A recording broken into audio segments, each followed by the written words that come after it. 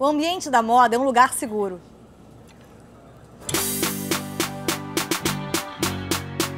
Bom, eu acho moda muito legal, porque é uma maneira que as pessoas têm de se expressarem, de mostrarem a sua personalidade, mas tem gente que leva isso até as últimas consequências.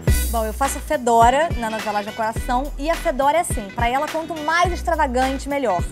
Porque ela adora ser o centro das atenções. Por exemplo, a Fedora, ela ia amar esse sapato aqui. Eu prefiro sair do país. Eu já prefiro fazer um intercâmbio. Eu gosto de moda, mas eu faço a linha mais discreta, sabe? Eu prefiro passar mais despercebida mesmo.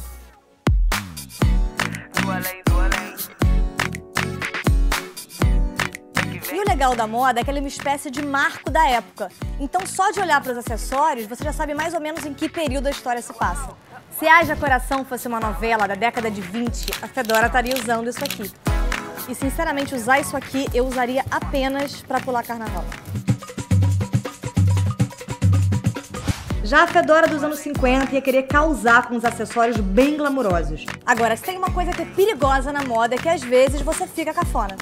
E pior, na época você não se dá conta disso, mas o visual fica registrado. Gente, o que foram os anos 80? Quem nunca usou ombreira e polaina? E pior, sua mãe tem uma foto sua vestida assim no porta-retrato bem no meio da sala. A Fedora, ela adora fotografar e registrar tudo. E ela faz isso porque ela é obcecada por redes sociais. E a verdade é que a Fedora ama aparecer. Ela usa umas roupas super chamativas. Assim, o carro dela é rosa, né? Tem cílios no carro. É tudo muito, né? A caracterização da Fedora também é um tom acima, ela é totalmente over. Ai de quem ficar no caminho da Fedora. Eu não acredito que essa linha Salgado ganhou 500 seguidores de ontem pra hoje por causa de uma festinha michuruca, um vestido horroroso, sem nenhum elan, sem nada. Mas ela vai ver só. Oi, gente. Eu queria convidar vocês pra minha festa de aniversário. Eu tô fazendo, tri... tô fazendo 25 anos. Muita gente vai ficar com inveja, né, essa linha Salgado. Mas eu queria convidar vocês pra acompanharem minha festa. Eu vou usar um vestido lindo. É isso, fiquem ligados. Mama!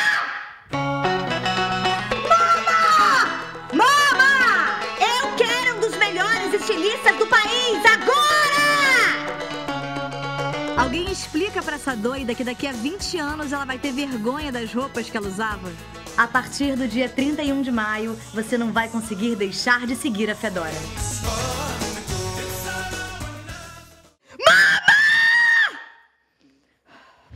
Claro que o azul vai adormecer o dia.